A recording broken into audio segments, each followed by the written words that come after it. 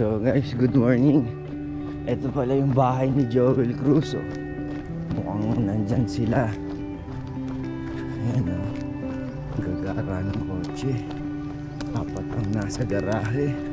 Tingnan mo yung bahay oh. Ang lupit. Spiral yung hagdan. Tatlong floor para sa tatlong palapag. Tapos laki ng chandelier. May roof deck, may elevator. Lupit. Ikutan natin guys. Sama ko kayo.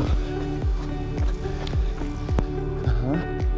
Malamig ngayon ang klima sa Baguio guys. Ah.